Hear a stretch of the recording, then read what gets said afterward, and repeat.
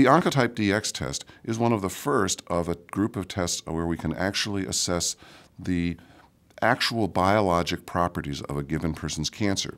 In the, in the, in the um, setting of breast cancer, that's what is the likelihood that this person's breast cancer is going to spread?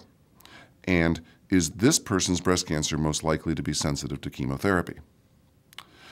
This Oncotype DX test was tested in women who have estrogen receptor positive breast cancers with negative lymph nodes and tests 21 genes that are present in the tumor and was able to more accurately predict the likelihood that that person would have developed cancer spread and whether giving chemotherapy would reduce that chance.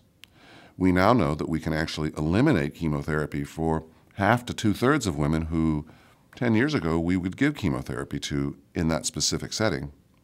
And we can reliably uh, tell the women who need chemotherapy that they will not just get a small benefit from chemotherapy, but they're much more likely to benefit from chemotherapy. So we win both ways. We're able to eliminate chemotherapy for a large fraction of women with this estrogen receptor positive breast cancer.